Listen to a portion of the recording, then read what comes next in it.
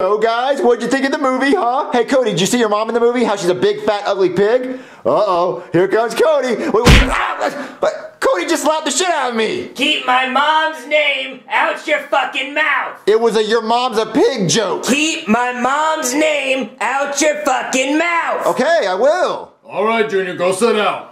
And the winner of the Oscar is Cody. I won! I actually won an Oscar! Oh, oh, I, I uh, this is kind of awkward because I, I just embarrassed myself in front of everyone, but I won! Oh my god, really? Oh, thank you. I, I just want to start off by saying I'm sorry, teacher, for slapping someone in your class. You know, eh, love makes you do crazy things, but I, I hope you invite me back. I, oh man, I just, I, I deserve this award so much. My movie was so good. Oh, thank you all, except for Junior.